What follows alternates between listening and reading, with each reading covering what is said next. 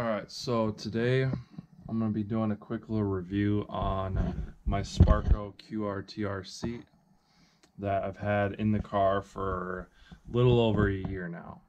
So it's well broken in, it's well used, and I've done a couple road trips with it, and I've done plenty of racing with it, and I uh, I'm very familiar with it, and I've daily driven it for the past little over a year now.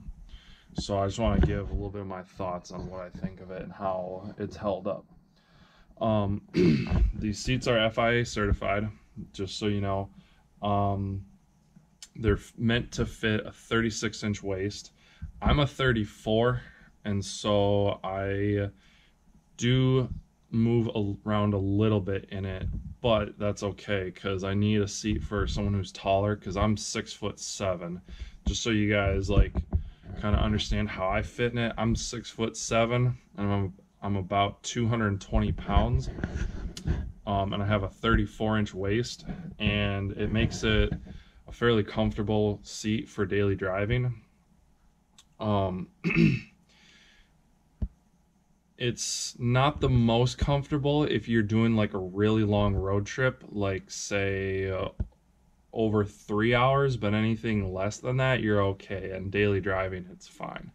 Um, the only complaint I would say I have is for daily use is it's a little tight in the shoulders and also this is like a proper true to form bucket racing seat it's not just a like sporty street seat um however it does its job when you're on track. Um, the other complaint I have with it, the big complaint I have is I have yet to get to because I haven't installed them yet, but the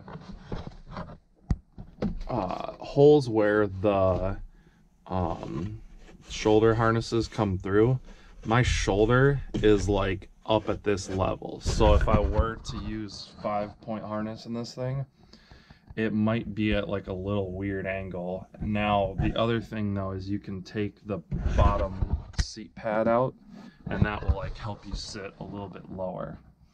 Um, but otherwise it's pretty comfortable. Like I daily drive it. It's, it's fine. It's, it's a great seat. It holds you in. You can drive, like I've done track days, autocross, like everything, street driving. It's great. Um, there's I guess three big complaints I have with it. Number one, it is in the year I've had it, it has sun faded pretty bad. Um, I don't know if you can tell from like video, but like it's not necessarily like really black anymore. It's kind of more just like a like it just kind of has a washed out faded look especially over here on the driver's side where it's by the window now granted i don't have any tint window tint i will come the spring but as of right now i don't have any. And um it's kind of faded fairly uh, a fair amount which i'm not happy about. Because in like come 10 years from now if i still have it in the car it's going to be pretty pretty faded. The other thing that I've ran into from daily driving it is there's no wear pads or protection on the, these parts of the seat. So you can see from sliding in and out of the car, it has worn some pretty gnarly holes in the side pad. and um as a result of that, I have to get in and out of the car with what I call the Ken Block maneuver, where you like get in the car and head first and you put your hand on the passenger seat and then you like maneuver yourself in and just sit straight down in the seat. That way you're not like sliding in. But that's what you got to do with this if you're daily driving it because it is like a true bucket. Like you do like kind of fall into it. Um, there's no getting around that. The other thing, and I haven't really like done a ton of research on this, but you can't really buy like a new like a brand new cover for it that I've seen. Just the exterior fabric or the insert pads. Um which is kind of a you know, I would like to have that option because these seats are not cheap. Um, and there's also multiple trims you can get this in. So they're these seats are roughly $900 brand new, but then that doesn't include shipping. The other thing about these seats is you have uh, special end plates or side plates, I should say, for the seat.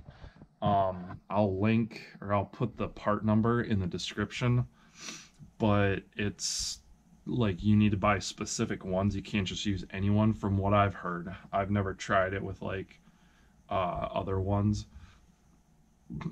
So you need to get different ones of those. So this is the QRTR. You can get the QRTC, which is carbon fiber. And then you can also get the QRTK, which is made of carbon Kevlar. And then you can also get these in red. And I think I've seen some of them in like a vinyl or leather upholstery. But this one, for all intents and purposes, is your most basic, like just black with black fabric QRTR. Um, and what makes these seats unique is the QRTR technology gives you a fiberglass seat, but at the weight of like a carbon seat. It's a lot lighter. Um, there's a special process they use to making these seats, which is kind of cool. Um, they're not the cheapest for a street seat, but they're not really a street seat. They're more for competition. Like I said, they're FIA certified. Like they're the only thing that this would make this seat, um, like, you know, higher up in like for competition is if it had like halo bars. That's the only thing that would like take it to like turn it into like a true race car seat. Um, but it's plenty good for like autocross, drifting, track days, whatever you want to do with it. Um, if you want to do drag racing with it, you could, whatever. Um, it's held up good. It's comfortable. I like it. I would definitely buy it again, and I want to buy either a pair of red ones for my Mustang or I want to get a set of QRTK ones for the Mustang. Either one of those. Um, but all in all, it's a really good seat, and I really like it. Um, and I would definitely buy it again. So that's my take on it.